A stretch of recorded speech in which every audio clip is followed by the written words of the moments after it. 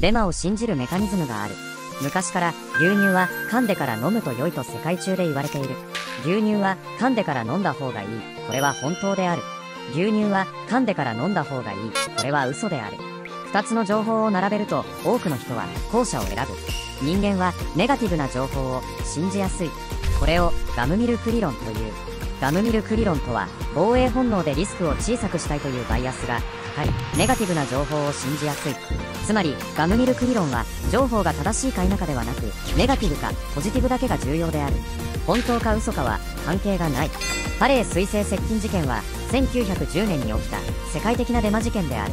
ハレー彗星とは太陽の周りを76年周期で公転している彗星。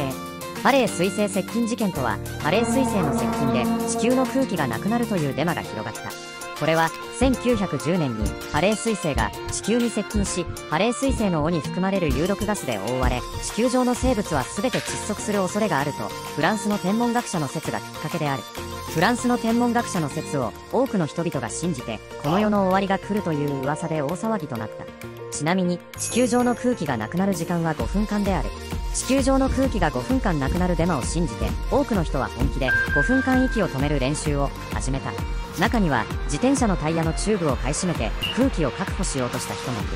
そもそもハレー彗星は地球に定期的に接近しているにもかかわらずその過程で人類は滅びていないにもかかわらずつまり大きな事件やイベントが起こった際にデマが広がりやすい。フェイクニュースはいきなり情報を鵜呑みにしないことが大事である。ガムミルク理論はお笑い芸人のカズレーザーが考えた嘘である。